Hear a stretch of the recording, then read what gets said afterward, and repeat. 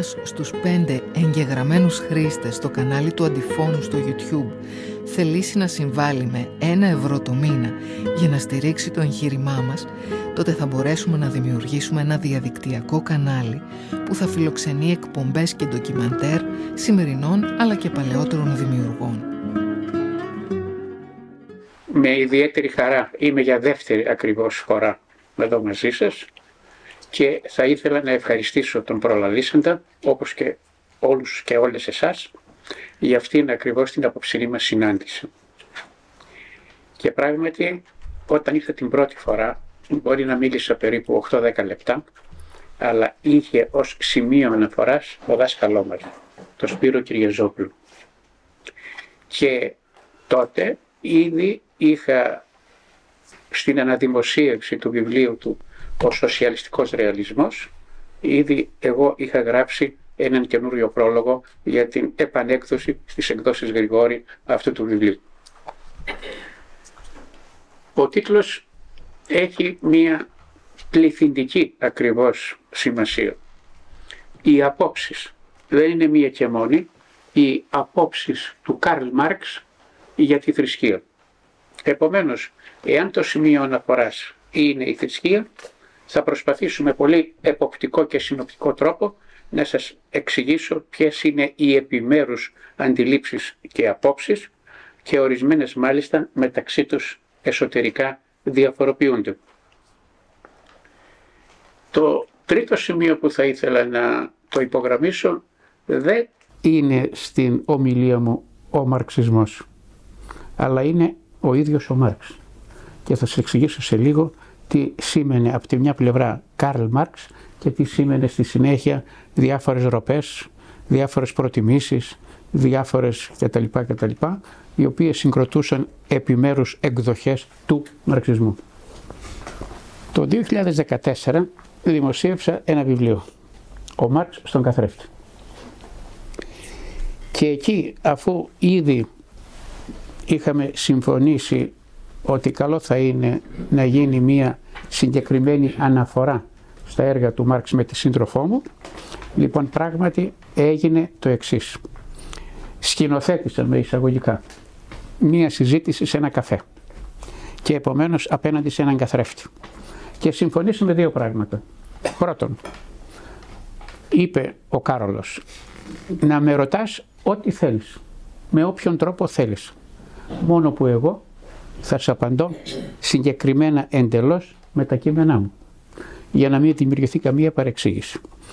Και του λέω πράγματι έχω την ε, γερμανική έκδοση των απάντων σου Marx Engels Werke τα οποία ήδη το 1973 με δική μου πρόταση τα έφερε ο μνημονευτής Σπύρος Κυριαζόπουλος τότε ήμουνα στο Δυτικό Βερολίνο και επομένως οι τόμοι αυτοί υπάρχουν στα χέρια μας και επομένως μπορεί κανείς να πει ότι μπορεί να κάνει μια συγκεκριμένη ακριβώς μνήμα, μια συγκεκριμένη αναφορά. Άρα λοιπόν συμφωνήσαμε με τον παππού, έτσι τον λέω, να τον ρωτάω ό,τι θέλω, με όποιον τρόπο θέλω, με τους κατοπινούς κτλ. κτλ αλλά αυτός θα μου απαντά μέσα από τα δικά του κείμενα με συγκεκριμένες αναφορές. Το τάδε βιβλίο στη σελίδα τάδε και ούτω καθεξής. Τώρα,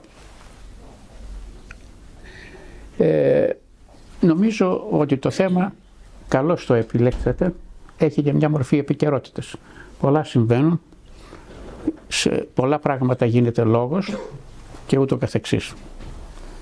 Δεν θα ήθελα βέβαια να δώσω στροφή στην επικαιρότητα, αλλά οι αναφορές οι οποίες θα γίνονται θα μπορούσαν σε τυχόν ερωτήσεις να αφορούν και μορφές επικαιρότητας. Στο πλαίσιο των νεανικών του κειμένων και μάλιστα με μορφές ιστοριογραφίες μπορούμε να δούμε πώς ξεκινάει ο Μάρξ συζητώντας για το θέμα του Μεσαίωνα και επομένως πώς βλέπει εκεί να εξελίσσεται μία μορφή καθολικισμού με καθοριστική σημασία για την εποχή του αλλά και για τον τόπο στον οποίο γεννήθηκε και στη συνέχεια ο ίδιος προχώρησε σε επιμέρους αναφορές. Άρα λοιπόν το πρώτο σημείο είναι εάν από την αρχή ο Μάρξ είχε μία αντίληψη να βλέπει την ειδοποιώ διαφορά στις περιόδους. Η περίοδο, η περίοδοι των φιλοσοφικών ιδεών, στο παράδειγμά μας, έχουν καθοριστική σημασία για την πορεία από την πλευρά του Μεσαίωνου. Καθοριστική σημασία είχε εκείνη την εποχή από το τέλος, από τον όψιμο Μεσαίωνα και η πορεία του νομιναλισμού. Ας μου επιτραπεί να πω μια και τελευταία έγινε και λόγος σε επίπεδο εφημερίδων μία από τις δικές μου συμβολές που μπορεί να είναι μετά από 15 μέρες στο ένθετο νησίδες μιας εφημερίδας Σαββατοκύριακο και εκεί έχω καθοριστικά σημεία για το τι από τα νόμινα, από τα ονόματα οδηγούν σε απόψεις ιδεών, σε απόψεις αντιλήψεων για το που βρίσκεται ακριβώς ο χώρος μέσα από τον οποίο γίνεται αντιληπτός. Βλέπει ο Μάρξ περιόδους ανατίμησης, ακόμη και το Μεσαίωνα και επομένως προσπαθεί να καταλάβει ποιες ήταν οι επιμέρους σταθερές στο πεδίο της θρησκείας. Και πράγματι στα νεανικά του κείμενα από το 1843 και θα επανέλθω σε αυτά, έχει καθοριστική σημασία η όλη του αντίληψη η οποία προήλθε μέσα από τα νεανικά του δημοσιεύματα.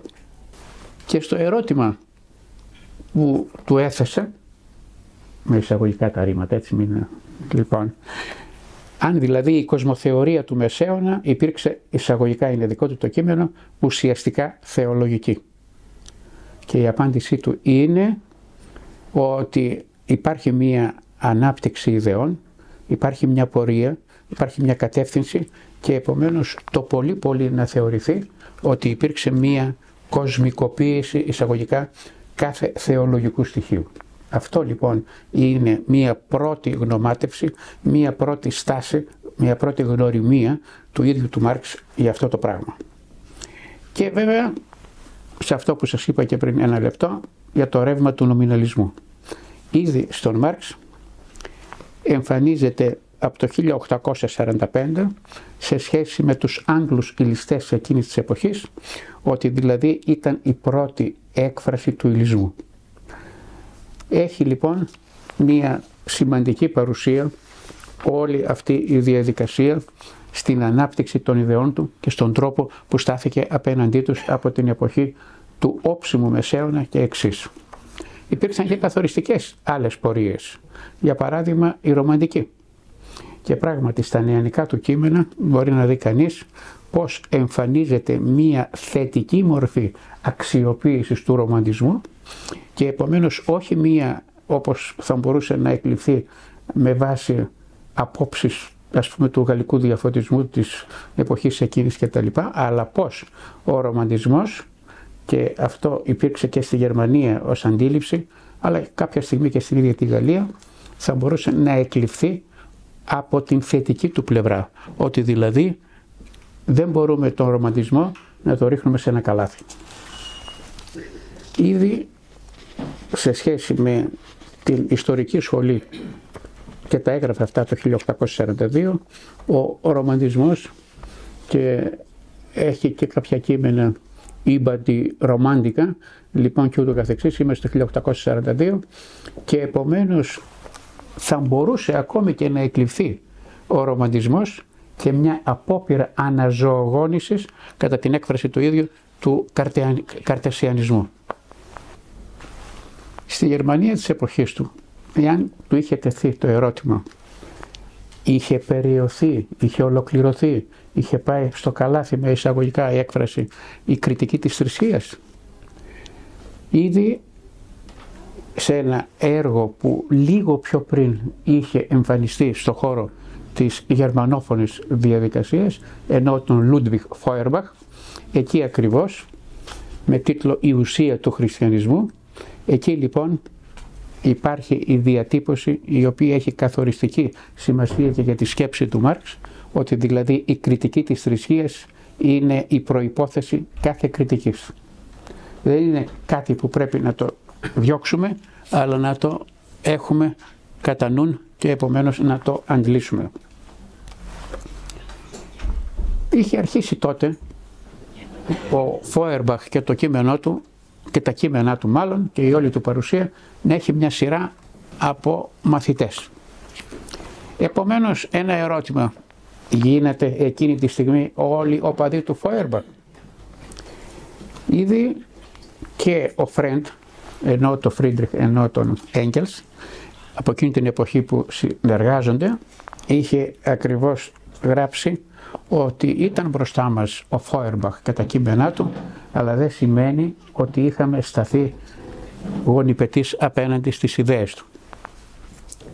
Επομένως προσπαθούμε να δούμε τι μπορεί να αντιλήσει κανείς από τις σκέψεις αυτές. Και επομένως το πρόβλημα είναι εάν η διαδικασία αυτή μπορεί να οδηγήσει και σε μια κριτική της θρησκείας.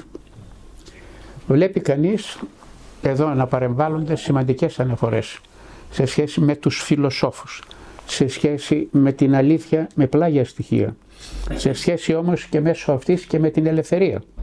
Και επομένως μπορούμε να δούμε και την απάντηση που δίδεται στον Φόιερμπακ, ότι δηλαδή από θεολόγος, ανθρωπολόγος μπορεί να γίνει κάποιος κριτικός ακριβώς του τρόπου που εμφανίζεται, εμπεδώνεται και βρίσκεται μπροστά μας η θρησκεία.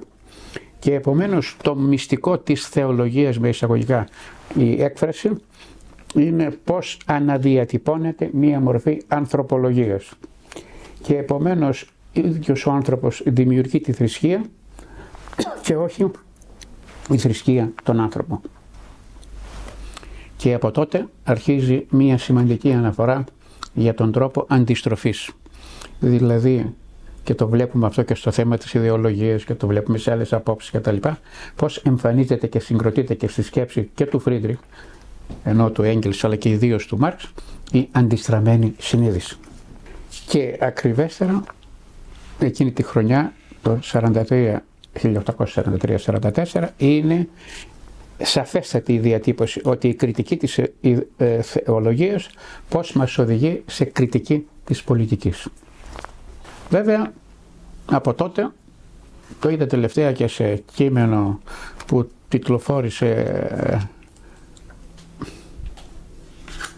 διανοούμενους των Αθηνών και τα λοιπά, δεν θα πω ονόματα, από το χώρο της δημοσιογραφίας και τα λοιπά, ότι η θρησκεία είναι το όπιον του λαού και εννοούσε συγκεκριμένα πράγματα κτλ. κτλ. Ακριβώς βρισκόμαστε στο 1843 και με πλάγια στοιχεία οδηγείται και ο Μάρξ και ο Έγκελς από το άρωμα στο όπιο, δηλαδή στον αναστεναγμό του καταπιεσμένου πλάσματος ή αν θέλετε σε αυτό που ο ίδιος πάλι πλαγιάζει στη διαμαρτυρία εναντίον της πραγματικής αθλειότητας. Και πράγματι πώς περνάμε από τον συγκεκριμένο άνθρωπο στον κόσμο του. Πώς έχουμε μια αντιστραμμένη συνείδηση και επομένως συγκροτείται μια κατανόηση της ανθρώπινης ουσίας που μερικές φορές δεν έχει καμία σχέση και με την πραγματικότητα. Με άλλα λόγια, το θέμα είναι, όπως ήδη το μνημόνευσα, να μετατρέψουμε την κριτική της θεολογίας σε κριτική της πολιτικής. Βέβαια προχωράει σιγά σιγά η σκέψη του Μάρξ και θα μπορούσε να διατυπωθεί και του διατυπώνω λοιπόν την ερώτηση. Πότε έχασε το ενδιαφέρον σου για τη θρησκεία; Και μου απαντά από τα πρώτα μου δημοσιεύματα την κατέστησα. Δηλαδή τον τρόπο κατανόησης της θρησκείας την κατέστησα προϋπόθεση κάθε κριτικής ο άνθρωπος δηλαδή με πλάγια στοιχεία κάνει τη θρησκεία αλλά βέβαια δεν κάνει η θρησκεία τον άνθρωπο. Και επομένως μπορούμε να δούμε θέματα δικαίου, κριτικής του δικαίου, θέματα κοινωνικών σχέσεων, να πάρουμε ως γενική διατύπωση την κοινωνία και ειδική την πολιτική και ούτω καθεξής. Επομένως, μπορεί να πει κανείς, δεν ξέφυγε έστω και μέσα από τον τρόπο αυτό από τις συγκεκριμένες κριτικές οι οποίες κατά καιρούς είχαν ασκηθεί από τον ίδιο.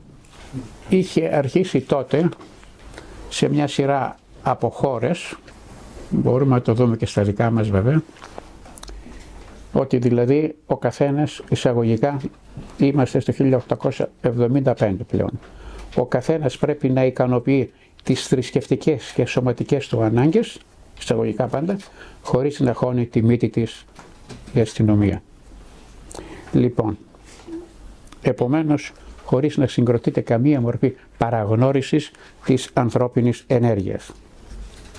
Υπήρξαν στη συνέχεια πάρα πολλά κείμενα, δεν θα σταθώ, τα μνημονεύω στο βιβλίο, σε σχέση με τον τρόπο που αντλεί αυτού του είδους τις απόψεις, προφανώς στέκεται και απέναντι στην έννοια του δογματισμού.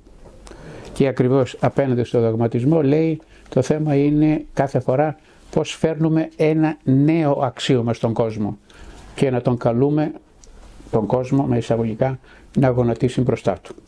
Επομένως η μετατροπή των θρησκευτικών και πολιτικών υποθέσεων σε συνειδητά όμως ανθρώπινα προβλήματα δεν προϋποθέτει, το λέει εντελώς συγκεκριμένα από τα νεανικά του κείμενα, δεν προϋποθέτει την αποδοχή των δογμάτων, ακόμη και αυτά που λέμε το σημειώνει ο Μάρξ, θα μπορούσαν να πάνε και αυτά περίπατο. Λοιπόν, και επομένως εκείνο που χρειάζεται είναι μία συγκροτημένη διαρκής ανάλυση της μυστικής και εισαγωγικά και σκοτεινής συνείδησης για να μάθει ο κόσμος ότι αυτό το όνειρο που κατέχουμε ενός πράγματος μπορεί να το έχουμε μπροστά μας, να μας εξουσιάσει, να μας οδηγήσει σε ένα ή οτιδήποτε άλλο σημείο αναφοράς. Επομένως αυτό το οποίο μπορεί να διατυπωθεί με ένα ακόμη ερώτημα και με εισαγωγικά γιατί προέρχεται από το ίδιο το κείμενο του Μάρξ. Επομένως, σαν να του λέει κάποιος νεαρός υπήρξες εραστής του παρόντος και πράγματι η απάντηση είναι όσες φορές ίντλησα απόψεις από το χώρο του παρελθόντος, από ιδέες που είχαν προκύψει και ούτω καθεξής, δεν ήταν παρά μόνον μία απόπειρα καταβήθησης μέσα στο ίδιο το παρόν.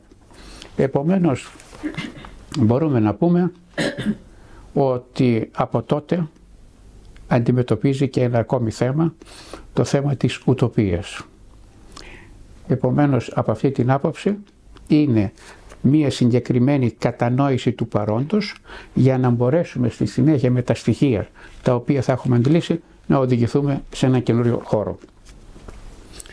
Ακόμη και με μία διατύπωση που μια φορά τη χρησιμοποιεί σε έναν ονειρότοπο και αρχίζει σιγά σιγά να κωδικοποιεί όλα αυτά τα πράγματα και γίνεται λόγος για την ανθρώπινη ουσία. Δηλαδή που είναι κάθε φορά το σύνολο των κοινωνικών σχέσεων. Όπως αυτές έρχονται και επομένως είναι μία μορφή, αν θέλετε έτσι με κάπως μεταγενέστερους όρους, διασταύρωσης ανάμεσα στον μικρό κόσμο και στον μακρό κόσμο και επομένως αυτό που θα μπορούσε να υποτεθεί ότι συγκροτεί την ουσία του ανθρώπινου όντως είναι ένα σύνολο δεδομένων που προκύπτουν από την ιστορικότητα αυτής της κοινωνίας. Αρχίζει σιγά σιγά ο Μάρξ με βάση και την ψευδή συνείδηση χρησιμοποιεί και όρους από την γερμανική φιλοσοφία της εποχής του να θέλει να συνδέσει ό,τι μπορεί να μας προσφέρει η θρησκεία να το συνδέσει με το θέμα της ιδεολογίας. Είναι ένα μακρό θέμα, ε, έχουν βέβαια καταγραφεί αρκετά πράγματα επ' αυτού. Εγώ αρκετά νωρίς είπα ότι δεν έχει θετική καταξίωση του όρου της ιδεολογίας ο Μάρξ. Ίσα ίσα καταλαβαίνει που βρίσκεται, καταλαβαίνει που κινείται κτλ.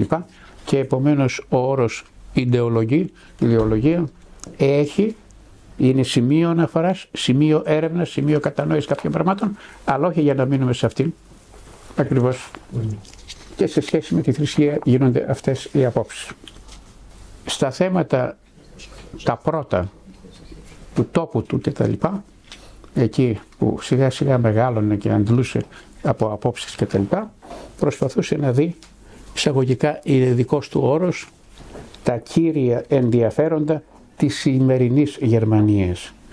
Και στη συνέχεια όταν με το καλό πήγε αναγκάστηκε εννοείται με το καλό, πήγε στο χώρο της Αγγλίας, εκεί προσπάθησε να δει ποια είναι εισαγωγικά η αληθινή πραγματικότητα. Και επομένως πώς εκεί μέσα εμφανίζεται το συγκεκριμένο πολιτικό κράτος. Γιατί στο πεδίο του πολιτικού κράτους, όπως έλεγε, όλοι οι κοινωνικοί αγώνες εμφανίζονται subspecie rei publici.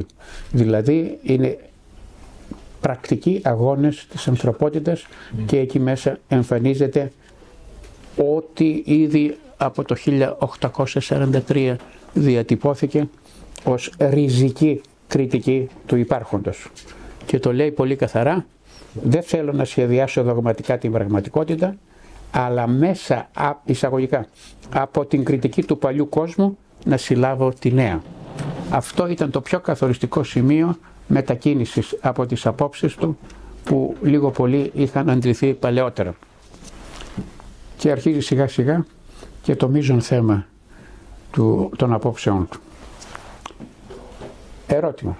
Από πότε προσπάθησες να δώσεις την προτεραιότητα στην κοινωνία και όχι στην πολιτική; Εάν δει κανείς τα κείμενα από το καλοκαίρι του 1844 και επομένως ό,τι συγκροτούσαν τα οικονομικά φιλοσοφικά χειρόγραφα του 1944 και ούτω καθεξής, βλέπει πολύ καθαρά αυτός ο μελετητής μεταγενέστερος βέβαια γιατί ορισμένα είχαν μείνει για δημοσίευτα τότε κτλ. Βλέπει κανείς ένας σημερινός μελετητής ότι αυτό το οποίο προτάσεται έχει σχέση και στο πλαίσιο αυτού του κοινωνικού βίου υπάρχει και με εισαγωγικά η έκφραση για να γίνεται η διαφοροποίηση από τη θρησκεία. Αυτό που μας ενδιαφέρει είναι η επίγεια ζωή. Προφανώς συναφώς και σε σχέση με την ιδεολογία που σας είπα γίνεται η μετάβαση εντελώς συγκεκριμένα από τη θεωρία στην πράξη. Δεν ήταν εύκολο το βήμα, είχαν προηγηθεί άλλες αντιλήψεις και ούτω καθεξής και επομένως είναι σε σχέση και με εκείνη την εποχή κοινωνικές ομάδες, κοινωνικές τάξεις οι οποίες εμφανίζονται, διαφοροποιούνται και ούτω καθεξής, επομένως πώς ακριβώς καθορίζεται αυτή η μετάβαση από τη θεωρία στην πράξη. Μην το συνδέετε φωνητικά αυτό που θα ακούσετε, απλώς είναι μια κανονική μετάφραση από τα γερμανικά. Δηλαδή, ποιος είναι ο ριζοσπάστης, έλεγε ήδη από το 1843. Είναι εκείνος που πιάνει τα πράγματα εισαγωγικά ΣΥΡΙΖΑ. Λοιπόν, και επομένως και για τον άνθρωπο ρίζα, ποιος είναι, ο ίδιος άνθρωπος. Επομένως, ο κοινωνικός βίος και ούτω καθεξής. Και έτσι συνεχίζει και θέλει να διαφοροποιηθεί, να κρατήσει τις αποστάσεις και από τον όρο ιδεολογία που σιγά σιγά κωδικοποιείται και επικρατεί και στο χώρο της ευρωπαϊκής τότε σκέψης και ούτω καθεξής. Και θέλει να δείξει λοιπόν ότι η ιδεολογία μπορεί να έρχεται σαν ένα διαρθρωμένο σύνολο υπερχρονικών αρχών, όμως αυτά τα οποία κάθε φορά πραγματοποιεί ο συγκεκριμένος άνθρωπος δεν είναι κάτι το αφηρημένο, αλλά ίσα ίσα είναι μια διαδικασία κατανόησης της θέσης του μέσα στον υπάρχοντα κόσμο. Γι' αυτό σε κείμενο δικό τους το 1845-46 με τον Έγκελς εννοώ ρητά ονομάζεται η απελευθέρωση από την τυραννία των ιδεών και επομένως μια προβολή μιας καινούργιας αντίληψης για τον κόσμο μέσα στην οποία λίγο πολύ και εμείς μετέχουμε. Για την διαφοροποίηση ως προς τον δογματισμό ή το μνημόνευσα λίγο νωρίτερα, να μην επιμείνω και σε αυτό. Και προφανώς, εάν δει κανείς το σύνολο των απόψεών του από τα κείμενα του 1843 και εξής, 1843 και εξής. Εκεί λοιπόν κρατάει τις αποστάσεις από τον όρο ιδεολογία. Δεν τον έχει δηλαδή σαν να ήταν μια καθοριστική σημασία για τα όσα βλέπουν. Υπήρξαν όμως και κάποιες διατυπώσεις οι οποίες πρέπει και αυτές να γίνουν πιο συγκεκριμένες. Για παράδειγμα, όταν ερωτήθηκε ο παππούς είναι κάτι που ενώνει τον ιδεαλισμό με τον ηλισμό;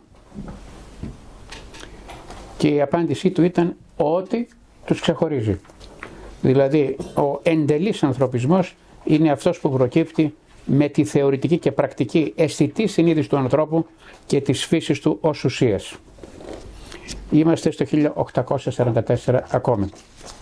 Μέσα από το μανιφέστο, ένα κείμενο με καθοριστική σημασία, κυκλοφόρησε και σε πολλές γλώσσες και στα δικά μας ήρθε αρκετά νωρίς και ούτω καθεξής.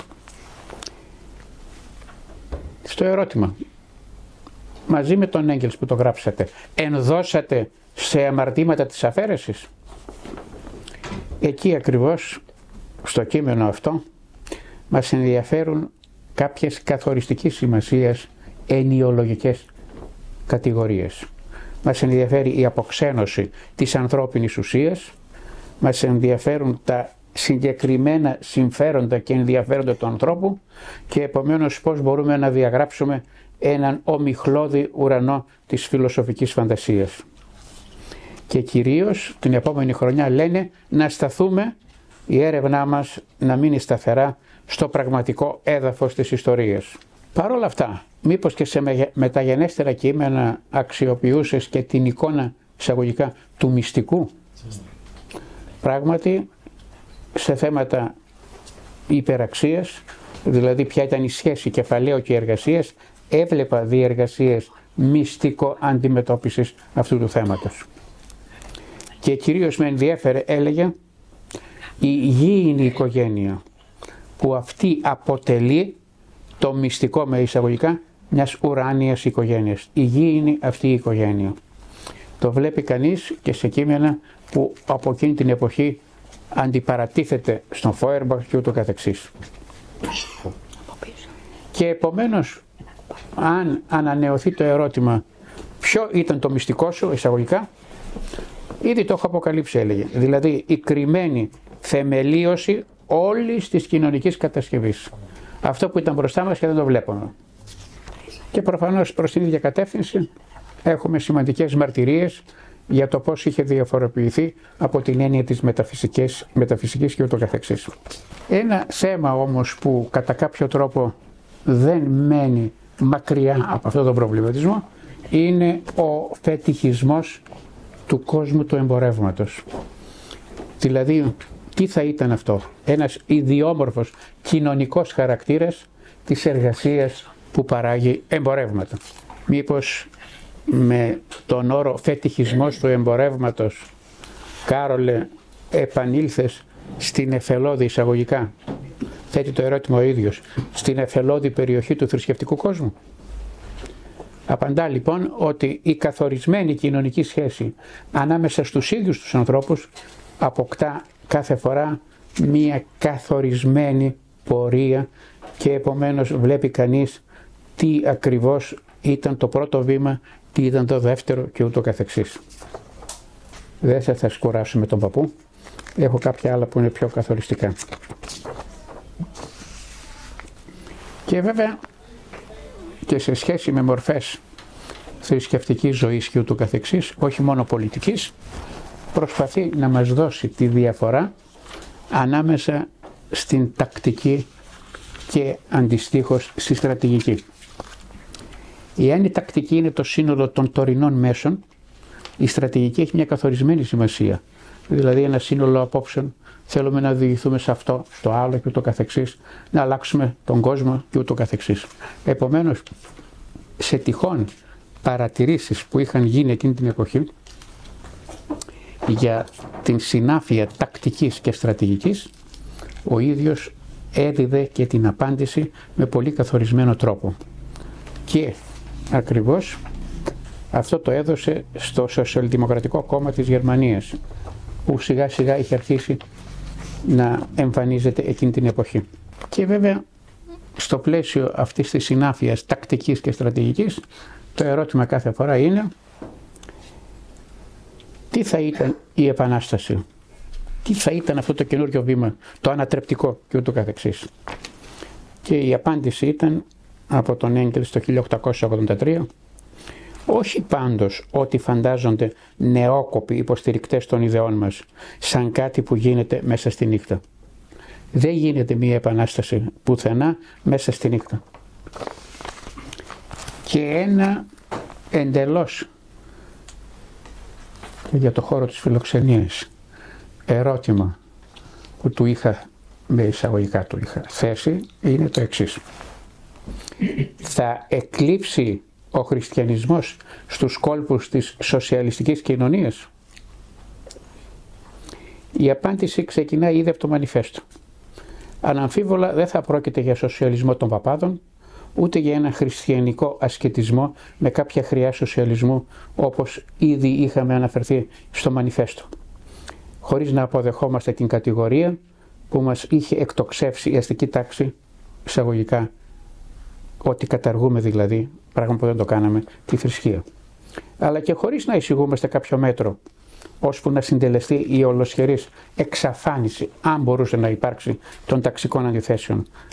Και επομένως διαδικασίες που έχουν σχέση με τα κοινωνικά αξιώματα του χριστιανισμού θα μπορούσαν να αξιοποιηθούν με συγκεκριμένο τρόπο και επομένως το βλέπει κανείς μέσα από την ιστορική γύρωση της ίδιας της θρησκείας. Και αντιστοίχως συναφώς έθεσες ή ξέχασες και δεν χρησιμοποίησες τον όρο ανθρωπισμός. Πράγματι τον χρησιμοποιούσα πλέον από μια στιγμή και πέρα με μέτρο και με συγκεκριμένο περιεχόμενο και επομένως εντελώς είτε μονο, μονολεκτικά είτε περιφραστικά. Και επομένως η αλήθεια των ανθρωπιστικών μας θέσεων ήταν αυτό που κάθε φορά μέσα από τη συγκεκριμένη πολιτική ασκούσαμε ή προτείναμε να ασκηθεί. Επομένως, στο πλαίσιο αυτής της διαδικασίας υπάρχει, ερώτηση ήταν, σοσιαλιστική ηθική. Και η απάντηση ήταν ήδη από το κείμενο το κοινό τους το 1845 από την Αγία Οικογένεια ή αν θέλετε αμέσως 45-46 από τη γερμανική ιδεολογία είναι ότι υπάρχει μία ριζική ρήξη με τις παραδεδομένες ιδέες και μπορούν να γίνονται αυτές οι ρήξεις στη σφαίρα της ηθικής. Και επομένως να έχουμε μπροστά μας ένα βασίλειο ελευθερίας το οποίο να απολαμβάνει ο κοινωνικοποιημένος άνθρωπος. Μέσα από τα χρόνια που έζησες και στον χώρο της Γερμανίας και στη συνέχεια πιο πάνω και στη συνέχεια στον χώρο του Λονδίνου και ούτω καθεξής, στην ερώτηση βίωνες στιγμές μελαγχολίας. Και πράγματι η απάντησή του είναι ότι μπορεί να ήταν καθήκον μας και συμφέρον μας να κάνουμε την επανάσταση διαρκή αλλά βλέπαμε και τα όρια της. Βλέπαμε ποιες ήταν οι πραγματικές συνθήκες. Βλέπαμε προς τα που θα μπορούσαμε να κινηθούμε και επομένως δεν ήταν ένας εφησυχασμός με σταυρωμένα χέρια. Και βέβαια στο βιβλίο αυτό υποτίθεται ότι καταλήγω με τις τελευταίες στιγμές του ίδιου του Μάρξ και επομένως την τελευταία ερώτηση που τον ρώτησα τι βλέπεις για το θάνατο; Προφανώς είχε χαθεί ο παππούς και επομένως δεν μου απάντησε. Αλλά βέβαια στον τάφο του και στο μνημείο του με φωτογραφία της Μαρίας και τα λοιπά, στο Λονδίνο. Από μένα άνω τελεία, ό,τι θέλετε και μπορώ να απαντήσω, θα απαντήσω.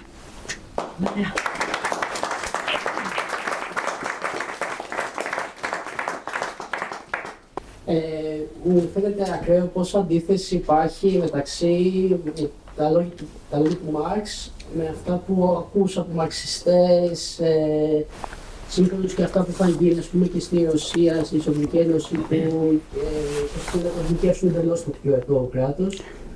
Και... Δεν ξέρω αν ήρθατε στο πρώτο... των ιδεών που φοβόταν κάπως να... Δεν ξέρω αν μετήχατε εδώ στο πρώτο ε, τρίλεπτο που είπα θα μιλήσω για τον Μάρξ και όχι για τον μαρξισμό.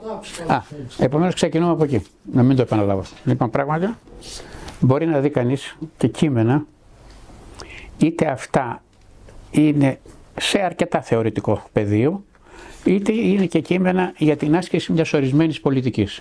Σε αυτά που μνημόνευσες αγαπητέ. Λοιπόν, επομένως μπορούμε να πούμε ότι από και μου το απαντά αυτό μέσα από συγκεκριμένες αναφορές των έργων του να προσέξεις αγαπητέ άλλος είναι ο παππούς, ο Μάρξ και άλλος είναι ο μαρξισμός που μπορεί είτε στο χώρο της Γαλλίας, είτε στο χώρο της Γερμανίας, είτε στο χώρο της Σοβιετικής Ένωσης και ούτω καθεξής. Ή και στον ελλαδικό χώρο. Επομένως, μια και μνημονεύτηκε, είχα συνθέσει ένα πεντάτομο κείμενο η σοσιαλιστική σκέψη στην Ελλάδα. Πώς ξεκινάει σιγά σιγά από το 1875 και στη συνέχεια όταν ο παππούς γίνεται γνωστός στον ευρωπαϊκό χώρο έρχονται και σε εμάς αντιλήψεις τέτοιες του Μάρξ. Έχουμε στις πρώτες μεταφράσεις, έχουμε τις επόμενες και ούτω καθεξής μέχρι και σήμερα. Βγήκε και ένα κείμενο πριν λίγο καιρό που κατά κάποιο τρόπο προσπαθεί να μας δείξει τι σημαίνει ο όρος βία στον Μάρξ. Πριν 10 μέρες κυκλοφόρησε και τα λοιπά. Μπορείτε να το αντιλήσετε αυτό και να δείτε ότι υπάρχει μία εντελώς σαφής αναφορά αρκετά νωρίς για τος, για το τι σήμαινε βία. Δεν ήταν δηλαδή μία άσκηση αντιπαλότητας και ούτω καθεξής. Βία καταρχήν ήταν μία μορφή άμυνας και κατ' επέκταση όταν έχει, είχε καθοριστική σημασία ήταν και μία μορφή υπέρβασης των δεδομένων που είναι μπροστά μας. Και γι' αυτό ακριβώς ε, η άσκηση βίας από ομόλογα καθεστώτα είναι μακριά από μας.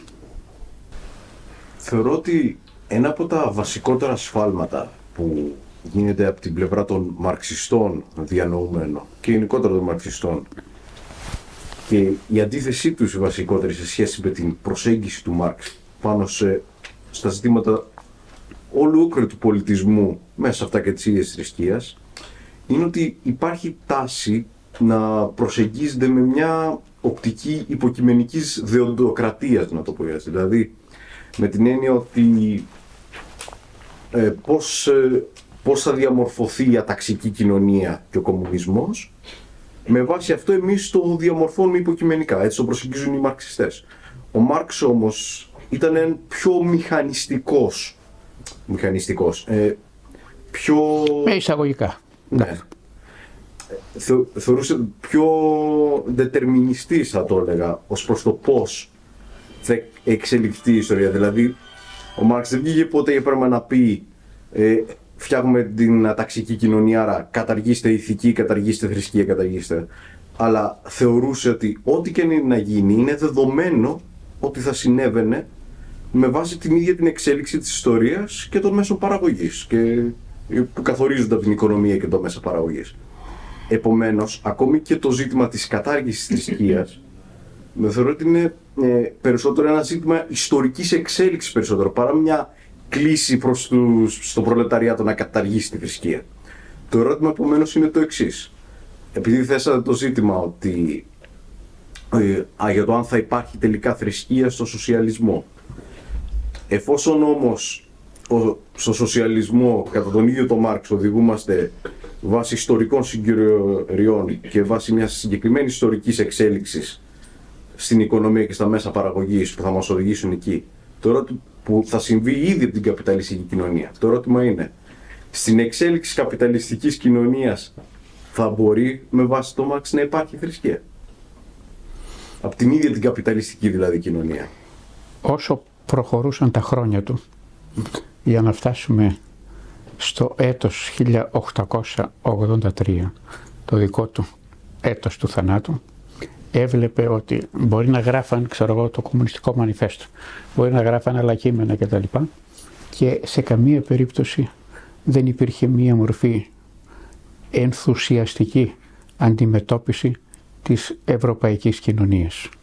Και είπε με έναν όρο που είναι έτσι νεολογισμός, αυτό που έχουμε μπροστά μας δεν είναι ο ονειρότοπος ο τόπος δηλαδή που ονειρευόμαστε. Γι' αυτό λοιπόν δεν είχε τέτοιες ψευδεστήσεις. Και αν δει κανείς και επιστολές της τελευταίας περίοδου του ίδιου του Μάρξ, σε καμία περίπτωση και από εκεί έχω αντιλήσει αυτά τα σημεία, δεν είχε την πρόθεση να πει ότι το καθεστώς το οποίο θα μπορούσε να εφαρμοστεί μπροστά στα μάτια μας, μόνο ότι δεν έχει εφαρμοστεί, να καταργήσει μια και έξω τη θρησκεία. Συγχαρητήρια κύριε καθηγητά, αλλά δώσατε το στίγμα αρχικά της διαφοράς του Μάρξ με τους μαρξιστές. Είτε της περίοδου που έζησε, είτε και μετέπειτα. Και αυτό φάνηκε ότι πολλοί μελετούσαν Μάρξ, έλεγαν ότι είναι πολύ σωστά αυτά που είπε, αλλά δεν εφαρμόζονται, αλλά δεν είναι την απάντηση γιατί δεν εφαρμόζονται. Ε, γιατί όμως δεν μονοποιήθηκε τόσο η θεωρία του Μάρξ, όχι ο μαρξισμός και ε, μήπως θα άλλαζε κατά κάποιον τρόπο το είδωλο του κόσμου εφόσον ο Μάρξ είναι μια ανατομική θεωρία για την κοινωνία και την πολιτική. Για να δοθεί μία πλήρης απάντηση σε αυτό πρέπει να ληφθούν υπόψη τα εξής. Πρώτον, όλα τα κείμενα που σήμερα είναι στους 40 τόσους τόμους των γερμανικών του απάντων δεν είχαν δημοσιευτεί. Υπάρχουν δηλαδή μια σειρά από κείμενα που βγήκαν ας πούμε το 1931. Ήδη είχε ο Σταλινισμός εδραιωθεί στη Ρωσία, στη Σοβιετική Ένωση. Ε, ήδη κάποια άλλα κείμενα, κυρίως επιστολές, και αυτές δεν είχαν βγει στον αέρα. Και μπορούμε να πούμε ότι από τότε που ξεκίνησε η έκδοση αυτή, η γερμανική, των απάντων του Μάρξ, σιγά σιγά είχαμε μία αύξηση των κειμένων. Όχι μια και έξω, αλλά σιγά σιγά. Επομένως, μπορεί να πει κανείς ότι καλά θα είναι να ληφθούν υπόψη όλες οι επιμέρους αναφορές και στο βιβλίο αυτό, αν μου επιτρέπετε, να σας πω με δύο λόγια από αυτού, το πρώτο είναι έργα του ίδιου του Κάρολου Μάρξ. Το δεύτερο είναι έργα του ίδιου του Έγγελς. Το τρίτο εδώ είναι των δυο μαζί και υπήρχαν τέτοια κείμενα. Μετά καταγράφεται κάθε φορά εάν πρόκειται για κείμενο το οποίο ήταν άγνωστο και υπάρχουν μέσα στους τόμους ακριβώς τους 39 τουλάχιστον και επιμέρους επιστολές. Και προφανώς στη συνέχεια για να το συζητήσουμε και κάπως με εισαγωγικά φιλολογικά είναι άλλες πηγές. Δηλαδή, τι να πω, κείμενα του Μπακούνιν, κείμενα του Φόερμπαχ, κείμενα και έχει σημαντικές αναφορές του ίδιου του Χέγγελ. Ακόμη και αναφορά στην ουτοπία του Τόμας Μόρος. Και προφανώς αναφορές κανένα δυο τουλάχιστον στο Γάλλο, στο Σεν Σιμό. Και προφανώς η βιβλιογραφία στη συνέχεια αναπτύσσεται και ούτω καθεξής. Θέλω να πω με άλλα λόγια. Πρώτον, δεν ήταν δεδομένα ευθύς εξ αρχής τα κείμενά του. Δεύτερον, κάθε φορά από την εποχή που σιγά σιγά άρχισαν αυτά να συζητιούνται, να είναι προσβάσιμη αυτή η βιβλιογραφία κτλ αρχίζοντας πρώτα από το Γερμανικό Σοσιαλδημοκρατικό Κόμμα στις τελευταίες δεκαετίες του 19ου αιώνα και προχωρώντας στη συνέχεια η πρώτη διεθνής, η δεύτερη διεθνής, αλλά και η τρίτη διεθνής και ούτω καθεξής. Θέλω να πω με άλλα λόγια, είναι εντελώς καθοριστική κάθε φορά η πορεία της πρόσληψης αυτών των κειμένων. Μερικές φορές και το έχω εντοπίσει, καλό θα είναι να κάνουμε μία σύγκριση όταν γίνεται λόγος για ένα συγκεκριμένο θέμα κατευθείαν με το κείμενο του Μάρξ. Μήπως το έχουν παραποιήσει λίγο και τα λοιπά. Μήπως έχουν αντλήσει μόνο μία λέξη και όχι, ας πούμε, μπορεί να λέει και όμως, μπορεί να λέει αλλά και ούτω καθεξής. Καλό θα είναι λοιπόν να γίνεται μία τέτοια εξαντλητική αντιμετώπιση των πηγών.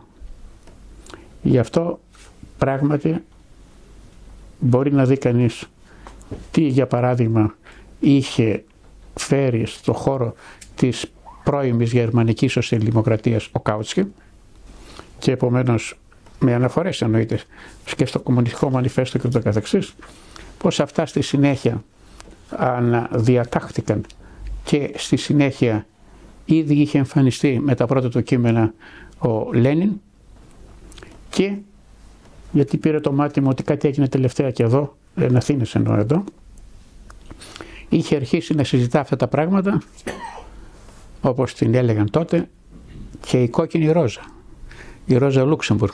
Λοιπόν, επομένως μπορούμε να πούμε ότι υπάρχει μια μακρά συζήτηση κάθε φορά και δεν είναι ό,τι εμφανίζεται στο πολιτικό ή αν θέλετε πιο συγκεκριμένα στο κομματικό πεδίο.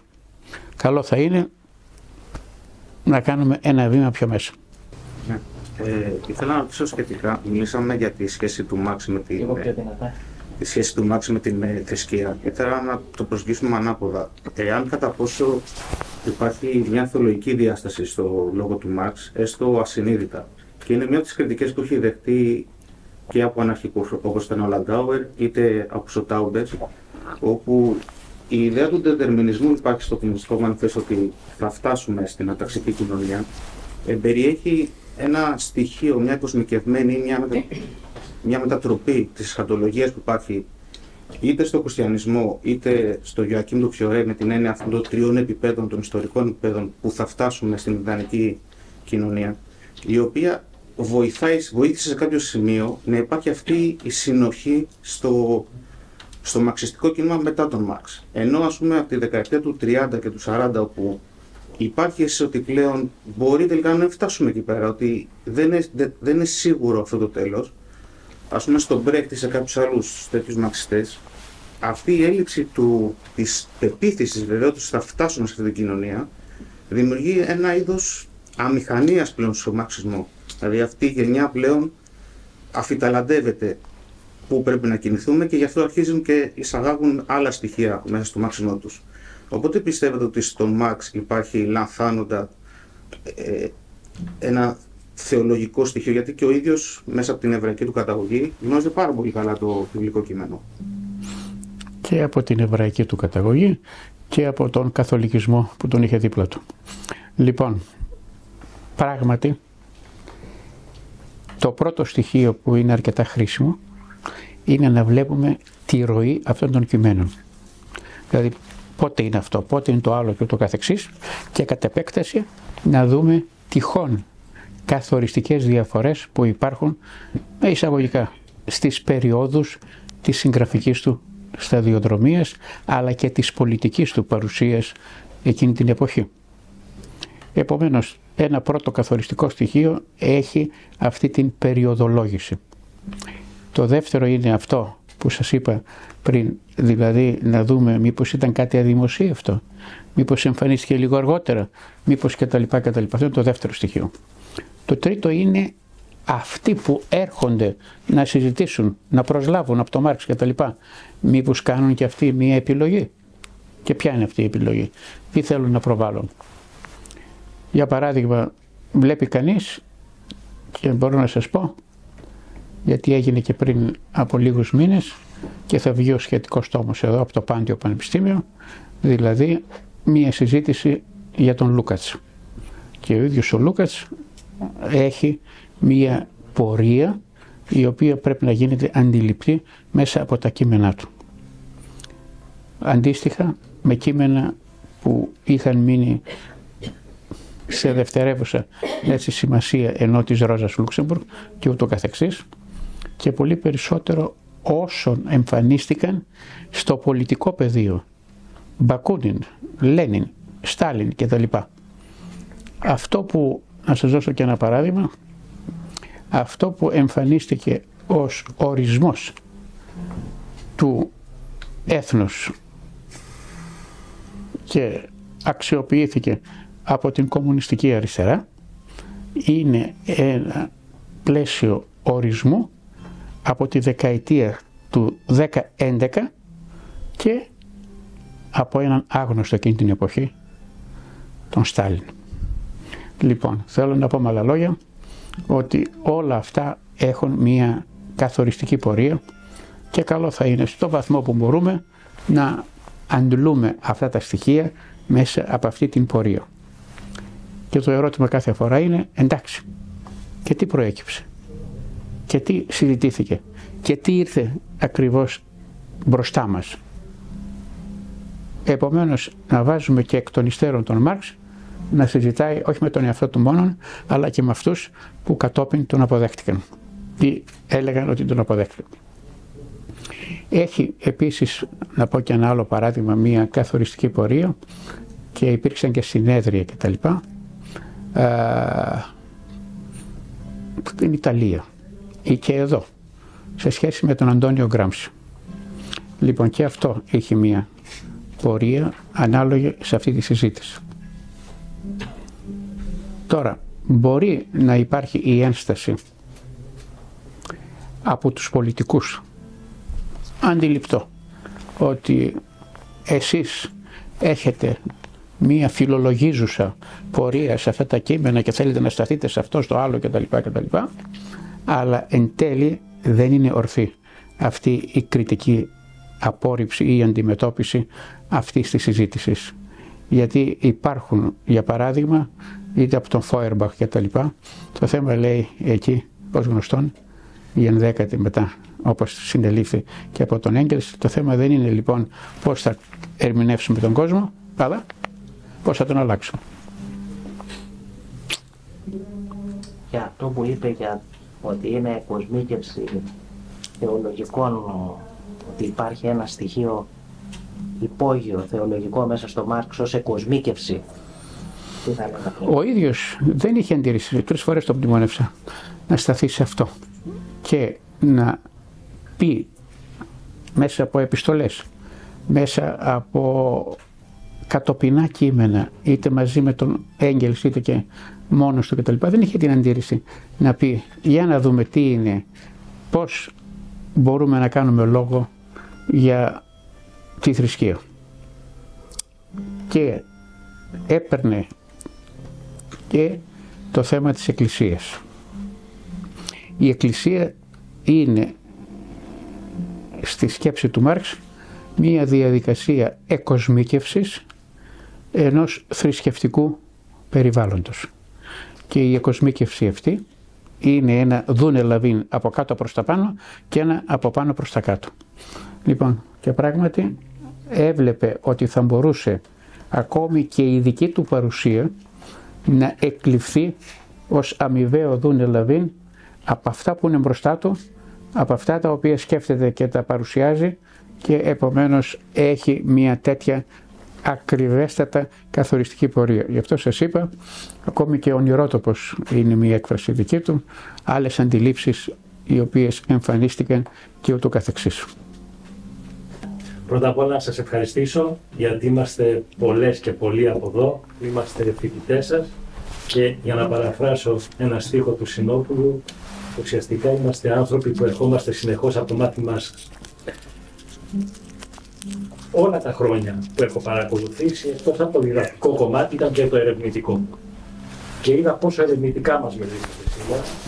Μια πολύ μικρή παρατήρηση θέλω και αν έχει την καλοσύνη να μου σχολιάσετε. Πώς βλέπετε τη σύνδεση μεταξύ της ψευδοσυνείδησης με το θεολογικό γεγονός; Ήδη δύο φορές ρητά αναφέρθηκα στο ότι ο Μάρξ δεν είχε την βεβαιότητα αυτά τα οποία λέει να αποτελούν ιδεολογία. Επομένως δεν είχε την αντίληψη αυτής της ψευδούς συνείδησης. Επομένως έβλεπε μέσα σε απόψεις συγκεκριμένες πολιτικών τάσεων, ιδεολογικών ακριβώς ροπών εκείνη την εποχή, οι οποίες είχαν εμφανιστεί και στη Γαλλία μετά το 1815 αφού τελείωσε η Γαλλική Επανάσταση και ούτω καθεξής. Επομένως μπορούμε να πούμε ότι δεν είχε καμία αντίρρηση να διαφοροποιείται από αυτό που είχε όχι de facto που είχε αποδοθεί από μορφές εκκλησίας εκείνη την εποχή. Και επομένως από αυτή την άποψη κρατούσε τις αποστάσεις. Και γι' αυτό έχει τουλάχιστον αρκετές αναφορές και από τα πρώτα του κείμενα και από τα κατοπινά του που ήθελε να δείξει αυτό που δύο φορές το υπογράμμισα, το κοινωνικό πεδίο. Μέσα στο κοινωνικό πεδίο όποια μορφή εκοσμίκευσης και να μας έρθει, ό,τι να μας έρθει απ' έξω κτλ. πρέπει σιγά σιγά να το ξεκαλουπώσουμε, ας το πω έτσι, να δούμε τι είναι, τι δεν είναι κτλ. Και, και να καταλάβουμε προς τα που κινείται. Γι' αυτό λοιπόν είχε αρκετά νωρίς και στη συνέχεια το κρατούσε αυτό, διαφοροποιηθεί από τέτοιες μορφές πρακτικής στο πεδίο των ιδεών, στο πεδίο της ψευδούς συνείδησης. Προφανώς, εγώ θυμάμαι πολιτικά σχεδόν εγχειρίδια. Μπορεί να είμαστε χώρο εκκλησία, αλλά πιστεύω ότι όλοι δεχόμαστε την αλήθεια αυτό που έλεγε ο Μάρξ για τη θρησκεία, δεν το συζητάμε. Εγώ απλώς ε, εσά που τόσο πολύ έχετε ασχοληθεί σε προσωπικό επίπεδο, θα ήθελα να μας πείτε κάτι από το τι σας βοήθευσε σε αυτόν τον άνθρωπο και αν τυχόν σήμερα βλέπετε σε παγκόσμιο επίπεδο να υπάρχει μια ενασχόληση με αυτόν σε μένα από τους ήρωες της σύγχρονης σύγχρονης σκέψης. Έτσι, σε προσωπικό επίπεδο, γιατί τον έχετε αναλύσει και τον έχετε διαβάσει σε προσωπικό, τι σας βοήθησε και πιο πολύ και αν έχει και μέλλον, αν βλέπετε ότι παγκοσμίως ασχολούνται ξανά. Οι τελευταίες ερωτήσεις σε αυτό το βιβλίο είναι εντελώς, θα έλεγα με εισαγωγικά, προσωπικού χαρακτήρα. Κάρολε, αν νιώθεις άσχημα, θα σε πάρω, του λέω, και θα πάμε στην ΚΟ. Και εκεί θα περάσουμε καλά και μην ανησυχείς, αν χρειαστεί θα σε θάψουμε με τον καλύτερο τρόπο. Αλλά αυτές είναι οι τελευταίες ερωτήσεις. Όλες οι προηγούμενες έχουν σχέση με τα ίδια τα κείμενα. Με τον τρόπο που ο ίδιος κατέγραφε κάθε φορά όσο μπορούσε με καθοριστικό τρόπο ό,τι ήταν μπροστά του. Ε, βέβαια και ο ίδιος σιγά σιγά δεν είχε την ψευδέστηση ότι σώνει και καλά αυτά τα οποία έλεγε ήταν τα μόνα. Γι' αυτό για παράδειγμα είχα και ένα κείμενο, ίσως το είδατε, το Σαββατοκύριακο που πέρασε, στο ένθετο νησίδες, μιας εφημερίδας που κυκλοφορεί εδώ στην Αθήνα και στην οποία κάθε 15 μέρες αρθρογραφώ, με τίτλο και δύο φωτογραφίες οι δύο Κάρολοι. Ο Δαρβίνος και ο Μάρξ. Ενώ τις νησίδες της εφημερίδας των συντακτών. Αλλά εκεί οι φωτογραφίες είναι δύο. Τρίτη φωτογραφία για μένα δεν έχει εκεί. λοιπόν, τι θέλω να πω με άλλα λόγια. Ότι ρωτούσα εκεί διαδοχικά τον παππού πότε γνώρισες τον Δαρβίνο. Τι ήταν αυτό για σένα; Η, το καθοριστικό του εγχειρίδιο που βγήκε εκείνη την εποχή, το μελέτησες κτλ. Αντιστρόφως, πώς εστράφει ο Δραβίνο προς εσένα; Λοιπόν, όταν βγήκε σε αγγλική μετάφραση ο πρώτος τόμος του κεφαλαίου. Τι θέλω να πω με αυτά, ότι πράγματι ο καθένας και μάλιστα δεν πειράζει θα το πω και αυτό.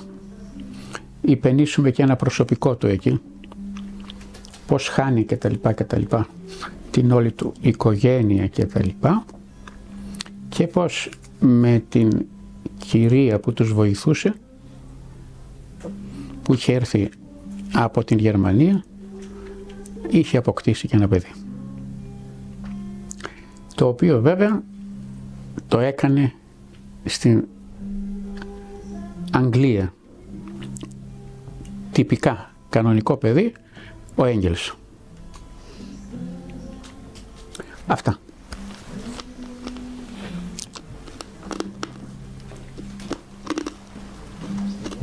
Ε, Βασίλη. Βασίλης και μετά άλλος Βασίλης.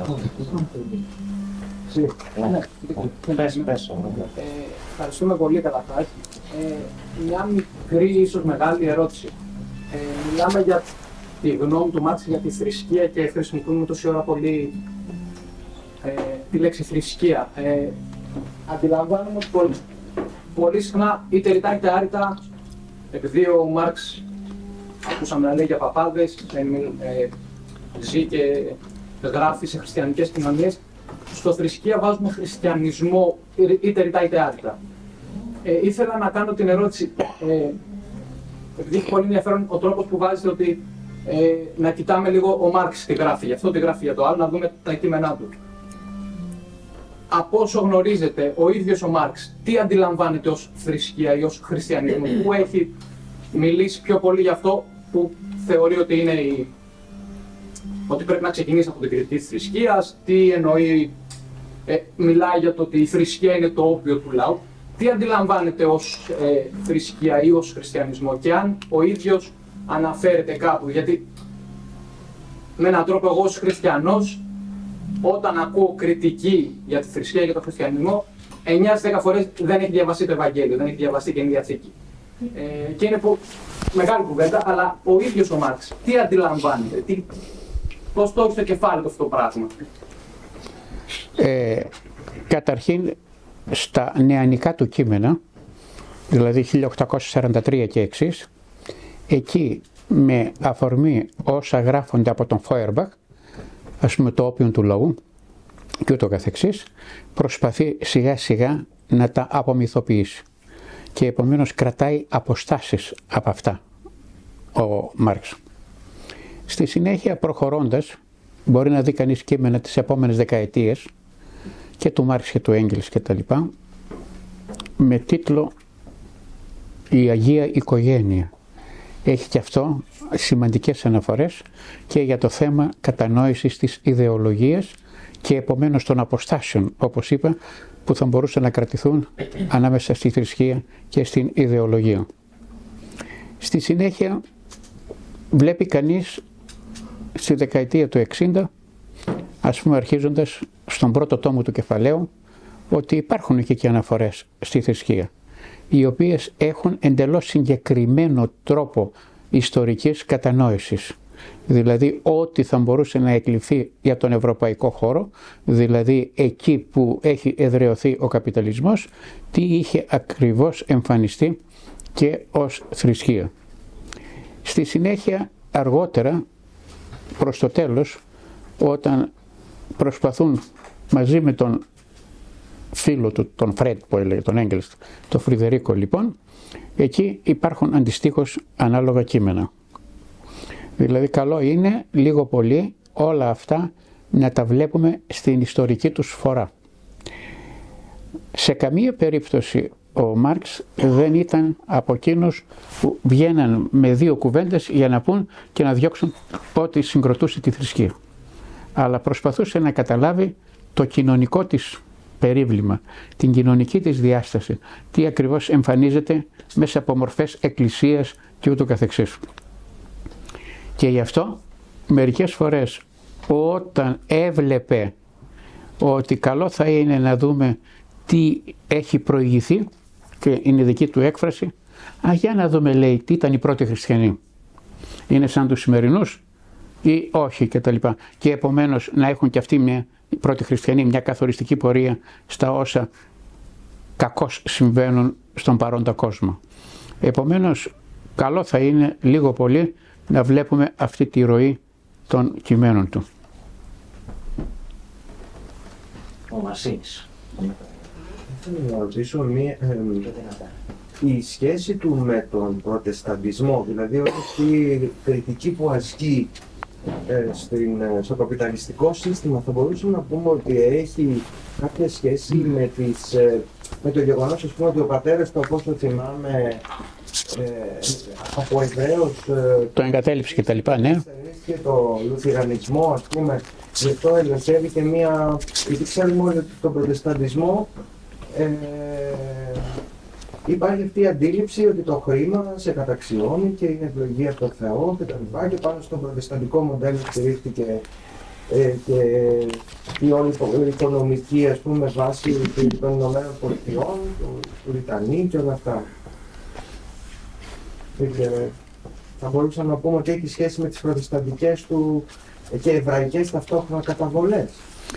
Υπάρχουν αρκετές αναφορές αρχίζοντας πάλι από το 1843 πηγαίνοντας μετά στο Κομμουνιστικό Μανιφέστο. Δύο θα σας αναφέρω από αυτό. Πώς λειτουργούσε στο θεωρητικός σου, ερώτηση ήταν αυτή, στο θεωρητικός σου οπλοστάσιο η κοσμικοποίηση; Η κοσμικοποίηση με απασχόληση στα νεανικά μου γραπτά ως προς την κοινωνική λειτουργία του προτεσταντισμού αλλά και με την πολιτική της υποκρίτριας προσίας να εφαρμόζει την αρπαγή της εκκλησιαστικής περιουσίας. Δηλαδή βρισκόμαστε στο 1843 και από μία άποψη τα επαναλαμβάνει και το 1867. Και η μείζον ερώτηση σε αυτό το θέμα είναι θα εκλείψει ο χριστιανισμός τους κόλπους της σοσιαλιστικής έστω κοινωνίας. Αναμφίβολα δεν θα πρόκειται για σοσιαλισμό των παπάδων όπως σας είπα και τα λοιπά και τα λοιπά και να σας πάω ακριβώς πάντως λέει το 1847 είχα ασχοληθεί με τα κοινωνικά αξιώματα του χριστιανισμού υποδεικνύοντας στη συνέχεια ότι το μονεταριστικό σύστημα είναι ουσιαστικά καθολικό και το πιστοτικό σύστημα ουσιαστικά προτεσταντικό. Είχε δηλαδή με τρόπους τέτοιους αναφερθεί ακριβώς στις δυο καθοριστικές μορφές του χριστιανισμού στην Ευρώπη εκείνη την εποχή.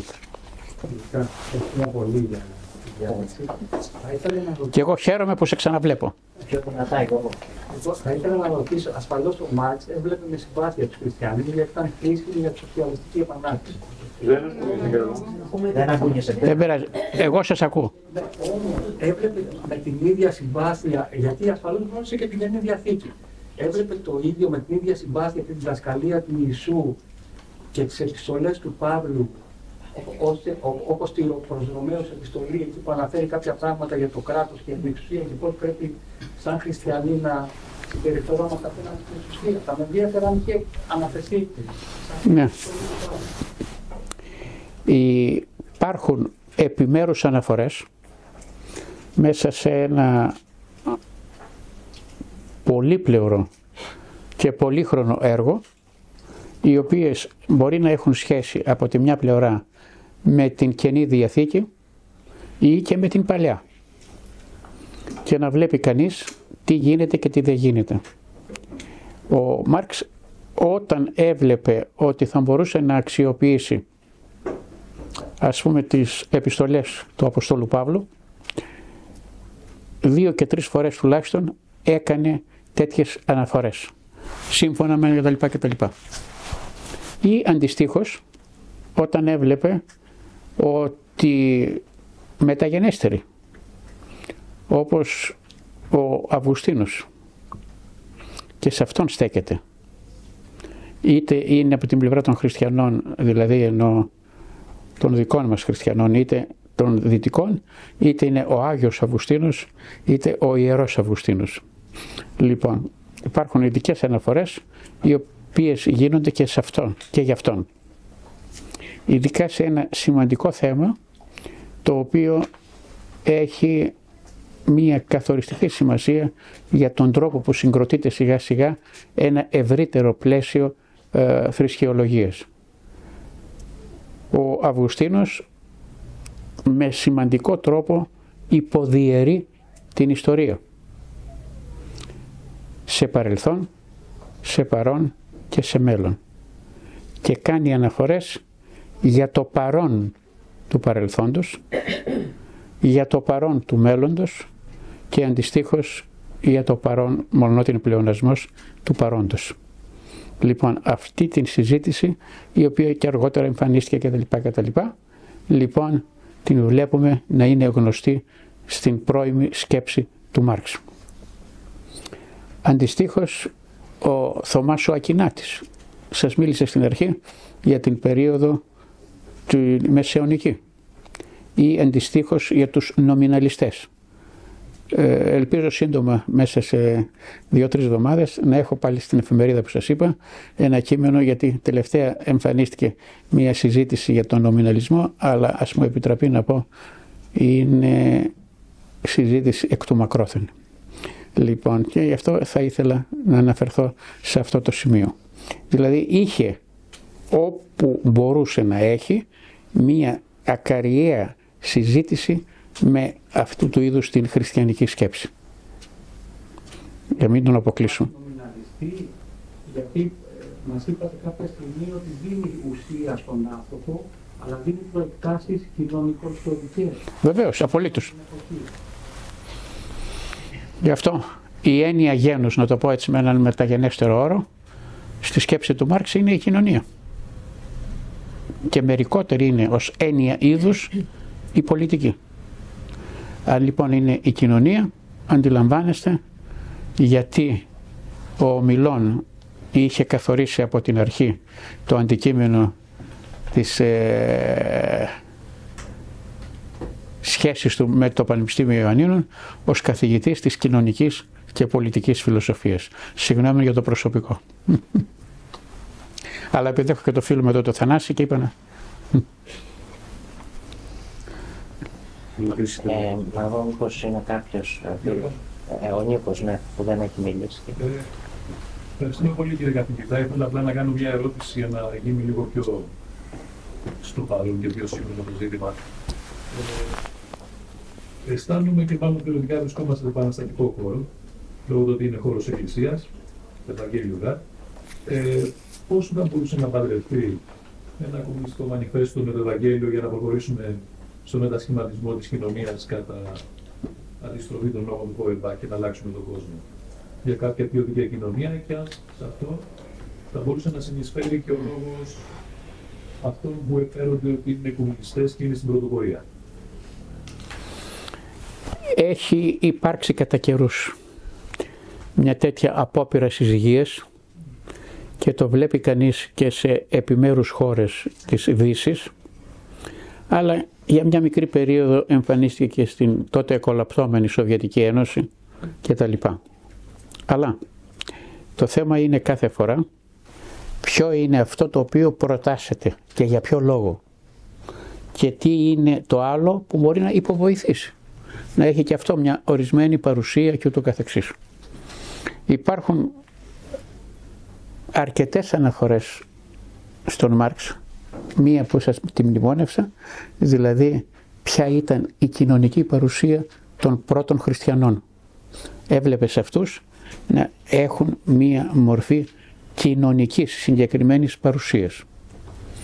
Εγώ δεν θέλω να δικήσω κανέναν και επομένως μπορεί και παλαιότερα να υπήρχαν και σήμερα να υπάρχουν και ούτω καθεξής και επομένως από αυτή την άποψη μπορεί να υπάρξει μία μορφή ουσιαστικής συνέβρεσης. Επίσης, μαθητριά μου. Αγαπητέ δάσκαλε, κύριε καθηγητά, κάθε φορά χαίρομαι πολύ να σας ακούω ε, και συγκινούμε βεβαίως λόγω του παρελθόντος που έχουμε μαζί σας στη διδασκαλία τους μαθητές σας πολύ. Πιο δυνατά παρακαλώ. Ναι, ε, ήθελα να πω, να μνημονεύσω το πεντάτομο έργο σας για τη σοσιαλιστική σκέψη στην Ελλάδα, από τις εκδόσεις γνώση, διότι θεωρώ ότι είναι παρακαταθήκη στις ε, σπουδές, ιστορικές και φιλοσοφικές για το σοσιαλιστικό κίνημα στην Ελλάδα, ε, τόσο που αναγκαστικά όποιος ερευνητής ασχοληθεί με αυτό το αντικείμενο πρέπει να περάσει από το έργο του κυρίου Μούτσου. Είναι έργο στο οποίο οφείλουμε πολλά. Άρα σε εσάς οφείλουμε πολλά όσοι έχουμε ασχοληθεί λίγο ή περισσότερο με τη σοσιαλιστική σκέψη. Ήθελα να ρωτήσω κάτι ευρύτερο. Επειδή ο Μάρξ είναι ο μεγάλος ανατόμος του 19ου αιώνα και του καπιταλισμού σε εκείνη τη φάση, σήμερα, στην ε, εποχή του μετακαπιταλισμού, σε μια εποχή με καινούργια χαρακτηριστικά στο υπάρχον ας πούμε σύστημα, ε, την τέταρτη βιομηχανική επανάσταση, την παγκοσμιοποίηση και ούτω καθεξής. Γιατί αξίζει κανείς να βλέπει τα έργα του Μάρξ με κριτική μάτια. Γιατί αξίζει να διαβάζουμε Μάρξ. Ανατρέχοντας στον σημερινό τύπο είδα και μάλιστα από διαφορετικές αφορμήσεις μία κριτική στάση απέναντι σε απόψεις όπως είχε διατυπώσει εδώ και λίγες δεκαετίες ο Φουκουγιάμα για το τέλος της ιδεολογίας. Ας μου επιτραπεί να πω ότι και γι' αυτό είχα γράψει πριν λίγο καιρό και τα λοιπά και μάλιστα με τίτλο σε σχέση με την υπηρετική παράδοση φούκωσε το κάλι. Δηλαδή φούσκωσε το... Λοιπόν, τι θέλω να πω. Μολονότι ο ένας είναι από την πλευρά πιο αριστερού κόμματος. Δεν θα ονομάσω ονόματα. Ο άλλος είναι κάπως κεντρογενής και ούτω καθεξής αναφέρονται με τον ίδιο ακριβώς τρόπο, δηλαδή πώς μπορούμε να πούμε ότι δεν έχει τελειώσει αυτό το θέμα και επομένως δεν χρειάζεται να πανηγυρίζουμε για το τέλος της ιδεολογίας και ούτω καθεξής. Καλό θα είναι και έκανα μία μορφή ανατομίας στα δύο αυτά κείμενα και επαναλαμβάνω μόνο ότι είναι και στην ίδια εφημερίδα πάλι για αυτά. Λοιπόν, είδα ότι έχουν μία άποψη για το τι είναι μπροστά τους. Το κοινωνικό πεδίο. Και επομένως τι προβλήματα υπάρχουν. Ποια είναι ανοιχτά ακόμη. Τι είναι αυτό το οποίο μας δημιουργεί προβλήματα. Καινούργια και ούτω καθεξής. Δηλαδή βλέπει κανείς ακόμη και εάν δεν έχουν καθοριστική πρόσληψη των απόψεων του Μάρξ, βλέπει κανείς ότι λίγο πολύ προσπαθούν να δώσουν μία ανατομία της κοινωνικής πραγματικότητας μέσα από την οποία ζούμε όλοι μας. Εγώ θα έβλεπα ότι όσο μπορούμε Τώρα αν είναι συνάδελφοι εδώ από το Πανεπιστήμιο Αθηνών δεν θέλω να με μαλώσουν. Μια και μνημονεύτηκε αυτό το πεντάτομο η σοσιαλιστική σκέψη όταν βλέπω δακτορικές διατριβές οι οποίες εκπονούνται εδώ στο Αθήνης και τα λοιπά και αφορούν απόψεις ξέρω, του Μεσοπολέμου σε σχέση με τις σοσιαλιστικές ιδέες και τα λοιπά ή της πρώτης μεταπολεμικής περίοδου και ούτω καθεξής προσπαθώ να κάνω μια, ένα χτένισμα, μια μορφή ανατομίας και να δω τι γίνεται, τι ξέρουν και τι δεν ξέρουν. Ας μου επιτραπεί να πω ότι σπάνια παραπέμπουν σε αυτό το κείμενο και μπορεί κανείς να τους καταλογίσει από ορισμένες δεκάδες και πλέον ε, είτε λάθη, είτε παρατυπίες, είτε κάτι που δεν έχουν προσέξει παραπάνω και ούτω καθεξής. Αλλά δεν θέλω να το πάω προς αυτή την κατεύθυνση, διότι ε, έχω έναν ειδικό φάκελο που εκεί μέσα βάζω με τίτλο «Αντέντα et corrigenta». Ποια θα μπορούσαν να συμπληρωθούν και ποια να διορθωθούν.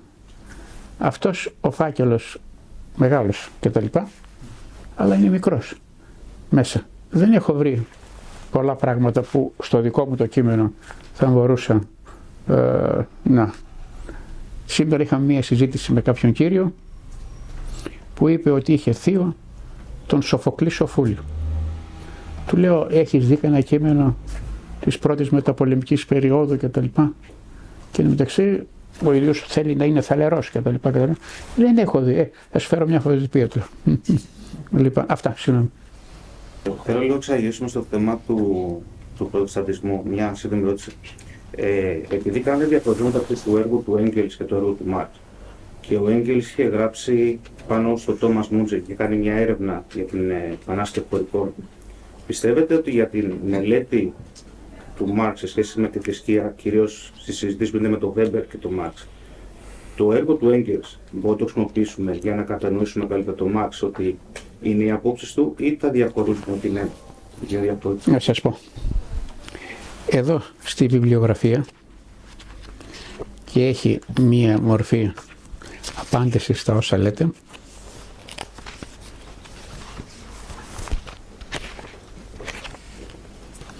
Είπαμε πρώτα έργα του Καρλ Μαρξ κτλ. Δεύτερον τώρα,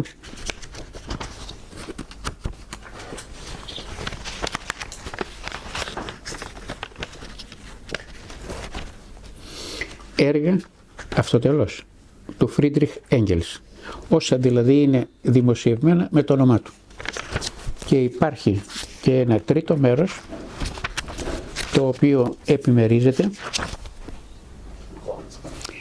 γιατί υπάρχουν ορισμένα έργα στα οποία προτάσσεται το όνομα του Μάρξ και αντιστοίχως ακολουθεί ο Έγγελς ή και αντιστρόφως. Γι' αυτό λοιπόν εδώ το τρίτο μέρος είναι έργα των Έγγελς και Μάρξ κάθετος των Μάρξ και Έγγελς. Δηλαδή μπορεί να δει κανείς μέσα από την συγκεκριμένη ιστορι... Ε, μέσα από την ιστορική παρουσίαση αυτών των κειμένων σε ποια είχε καθοριστική και μοναδική σημασία ο Μάρξ, σε ποια είχε αντιστοίχως ο Έγγελς, σε ποια βγήκαν πάλι μαζί αλλά ο Μάρξ έδινε το προβάδισμα στον Έγγελς γιατί απλώς είχε κάνει κάποιες διορθώσεις κτλ. Ή αντιστοίχως ο Μάρξ και ούτω καθεξής προτάσσεται. Καλό θα είναι να γνωρίζουμε κάθε φορά ποια είναι η επιμέρους φραγίδα του ενός και του άλλου. Συγγραφική σφραγίδα εννοώ. Και επομένως να γνωρίζουμε με ποια αφορμή. Και αυτό φαίνεται καθαρά αρκετές φορές στον προτασσόμενο πρόλογο. Εκεί μπορεί ο πρόλογος να λέει ότι είδαμε τελευταία αυτό, αυτό, αυτό και αυτό και να μπαίνει μπροστά το όνομα του Φρίντριχ, του Έγγελς και ούτω καθεξής. Δηλαδή και τα κείμενα αυτά έχουν μέσα από τον τρόπο που έχουν εμφανιστεί πλέον μια καθοριστική ένδειξη σε ποιον ανήκουν. Υπάρχει και μία μορφή αυτοβιογραφίας αργότερα, ας πούμε από τον ίδιο τον Έγγελς, που λέει «Εδώ μου άνοιξε τα μάτια ο Κάρολος, εκεί ήμουνα εγώ ο πρώτος» κτλ. Αυτά είναι πολύ μεταγενέστερα μετά το 83, το θάνατο του Μάρξ και έχουν μια τέτοια μορφή αυτοβιογραφικής καταγραφής της συγγραφικής τους παραγωγής. Και το βλέπει κανείς και επομένως αντιλαμβάνεται τυχόν προβλήματα τέτοια που υπάρχουν. Βέβαια, ο Έγγελς που είναι λίγο μεταγενέστερος, ενώ στην ζωή του προσπαθούσε να δώσει και έτσι έχω στην κατακλίδα εκεί του θανάτου και τα λοιπά, να δώσει ό,τι μπορούσε να δώσει στο σύντροφό του που χάθηκε. Γι' αυτό ο Έγγελς ποτέ δεν εμφάνισε εκτός με διακριτικό τρόπο κτλ. κτλ δεν εμφάνισε μορφές αντιπαράθεσης προς τον Έγγελ, προς τον Μάρξ. Αλλά είχε μία μορφή έτσι, σύμπνοιας, κατανόησης, πορείες κτλ. κτλ. Και πολύ περισσότερο στα κείμενα τα τελευταία. Έχω και εγώ μια ερώτηση. Όχι μία, δύο. Ε, από την προσωπική μου μελέτη των κειμένων του Μάρξ και του Έγγελς, ε, διαπιστώνω ότι, ότι το να είναι κανείς άθεο δεν αποτελεί προαπαιτούμενο ε, για να είναι επαναστάτης σοσιαλιστής. Αυτό νομίζω φαίνεται και στον Μάρξ και στον Έγγελς αλλά και στη Ρόζα Λούξεμπουργκ και στο Λένιν ακόμη λέει ότι για να είναι κάποιος μέλος του Κομμουνιστικού Κόμματος δεν χρειάζεται σώνει και καλά να είναι άθεος. Ε, απέναντίας ο Μπακούνιν που αναφέρατε λέει ότι μαζί με τον αγώνα για την κατάλυση του κράτους και την ε, οικονομική ισότητα, εξίσου σημαντικό είναι να καταστρέψουμε τις υπάρχουσες θρησκευτικές λατρείες.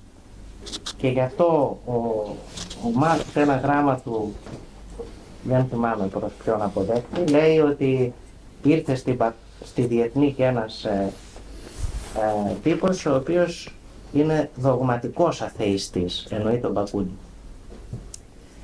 Ε, επομένως η ερώτηση είναι μπορεί κάποιος να είναι και χριστιανός και μαρξιστής; Ο Φιντέλ Κάστρο Φερρυπίν λέει ότι δεν υπάρχει αντίφαση ανάμεσα στην ιδιότητα του χριστιανού και του κομμουνιστή. Και είχαμε και στην ε, χώρα μας έναν σπουδαίο άνθρωπο, τον Μίκη Θεοδωράκη, ο οποίος κατά ρητή του δήλωση είχε πει ότι εγώ ήμουνα και χριστιανός και κομμουνιστής. Η ερώτηση λοιπόν είναι υπάρχει αντίφαση πρώτον και δεύτερον ένας επαναστάτης μαρξιστής έχει να κερδίσει κάτι από το να είναι και χριστιανός, δηλαδή αυτό του δίνει ένα κάτι περισσότερο ας πούμε. Μπορεί να εμπλουτιστεί Ναι. δηλαδή. Για το αρχι, αρχίζω από εκεί αυτό, αρχικό σημείο της αναφοράς σου.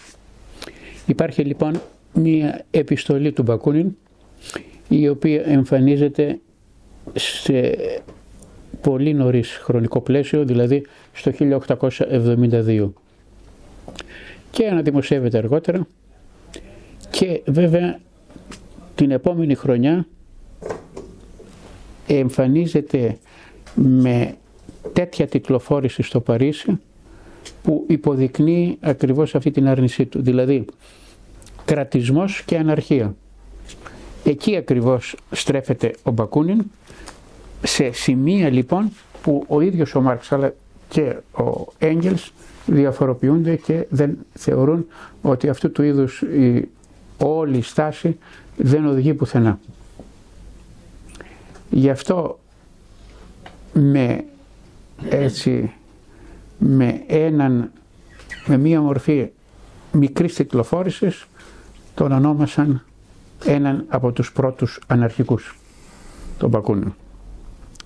Όμως πράγματι αν δει κανείς όλη την πορεία των όσων έχουν συμβεί και στη χώρα μας και διεθνώς και τα λοιπά δεν μπορεί σε καμία περίπτωση να αποκλείσεις αυτή τη σύζευξη ε, κομμουνιστών και χριστιανών ή όπως θέλεις να τους ονομάσεις τους πρώτους και ούτω καθεξής. Γι' αυτό εκείνο που έχει καθοριστική σημασία είναι ποιες μορφές κοινής πορείες, σε ποιες κοινές ιδέες θα μπορούσαν να κινηθούν και να έχουν έναν καθοριστικό ρόλο. Εάν λοιπόν θεωρηθεί για παράδειγμα η μία μορφή εμπράγματης ουτοπίας ότι είναι το κοινό στοιχείο τους, ένας νέος κόσμος και τα λοιπά να ανοιχθεί μπροστά μας, τότε πράγματι μπορεί να δει κανείς και στην πρώτη και στη δεύτερη περίπτωση, αλλά με διαφορετικό εννοείται τρόπο, αλλά πάντως να υπάρχει αυτή η καθοριστική σημασία της διαδικασίας προς τα εμπρός. Και τέτοια παραδείγματα υπήρξαν πότε θέλετε, στην εποχή της αιαμικής αντίστασης, αργότερα και ούτω καθεξής και μέχρι και σήμερα.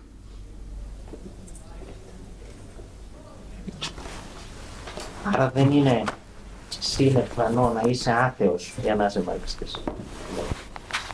Δηλαδή είναι πυρηνικό στοιχείο, είναι ουσιώδες χαρακτηριστικός του μαρξισμού η αθεία.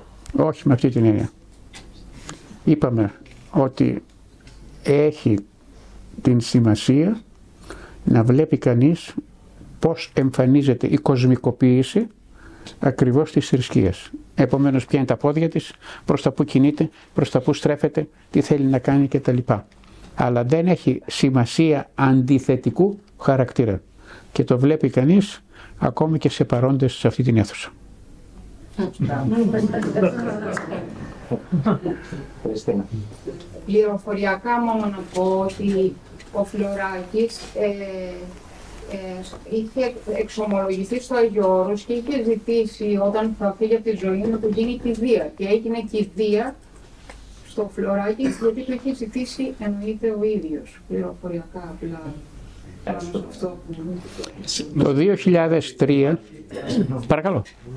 συμπληρώσω κάτι στην κοπέλα. Υπάρχει στο YouTube μια αφήγηση ενός Σιμωνοπετρίτη μοναχού. Νομίζω αυτός τον εξομολόγησε, αν θυμάμαι καλά. Και επισκέφτηκε μετά ο ίδιος μοναχός, τον ζήτησε να τον επισκεφτεί στον Περισσό. Και είναι λίγο ανεκροτολογική ιστορία, αλλά και όχι μόνο. Και πολύ ουσιαστική δηλαδή. Το, 2000 Δεν μπορεί να βρει την αφήγηση στο YouTube. το 2003 δημοσιεύτηκε με μικρό σχήμα μένα, αλλά αρκετές σελίδες, ένα βιβλίο, τη δεύτερη λέξη θα την πάρετε από το άθος. Το όρος των αθώων. είναι μία τριήμερη φιλοξενία που είχα και εγώ στο Άγιο Όρος. Και εκεί θα βρείτε πολλά από αυτά. Πώς το είπατε, το... Το Όρος των Αθώων. Εκδόσεις ελληνικά γράμματα 2002.